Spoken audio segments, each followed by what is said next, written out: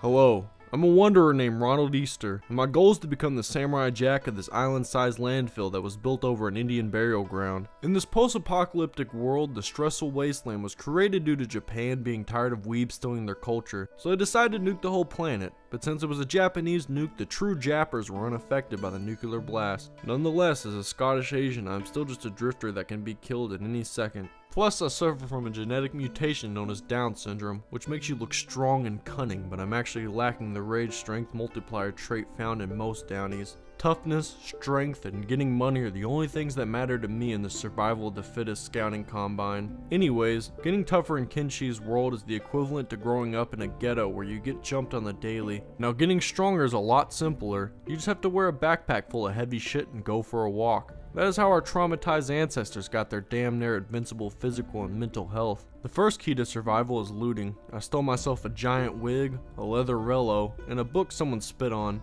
Then I did some air mining to conserve some oxygen energy which was very needed around all these mouth breathers. Next, I sold some copper because I wanted to start a legit business. Finally, my journey can begin. I wanted to go anywhere that does not include me getting killed, and I know that is an obvious statement, but I was kind of hoping that Kenshi himself would hear me and listen to my plea. The first thing I ran into was racism.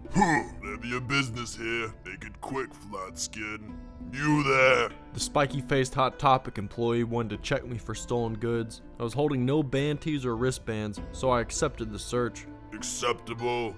Go. I then bumped shoulders with the guards acting like I was gonna fight, but everybody knew I was not gonna swing. As a flat skin, I was not allowed to enter that city, which led me to wander off into Japan's outback. I noticed the acupunctured eyes of a creature living under this here land gazing upon me as I ran. I felt vulnerable because I was all alone out in the squad-based martial arts tournament that included weapons. I ran into my first fight dangerously cocky, and I was lucky I didn't get killed in my debut of high numbers or everything. However, five escaped servants did beat me down and steal my damn dust witch. Welcome to fucking Kenshi, I guess. Maybe these guys will help me. Oh, they're slavers. Well, that figures. I tried to live a peaceful life and I got mugged and enslaved. One of the slavers carried gorilla-sized me the whole trip.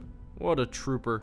My captors whooped hungry savages with ease, and one of the slavers had me on his shoulder to use my limp body as a cardboard cutout quality shield. Then I tried to escape, but I was knocked out for doing this. As a cruelly usual punishment, they left me, which gave me a chance to run away. I'm now free, but you must always run if you don't want to be it in starvation tag. At least I safely made it to a city.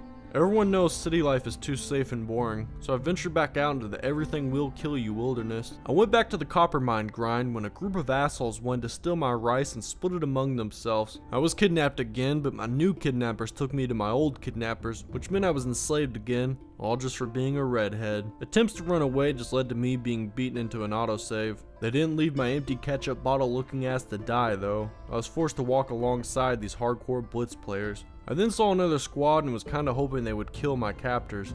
Of course, no one in this world acknowledges the shoulder bumps.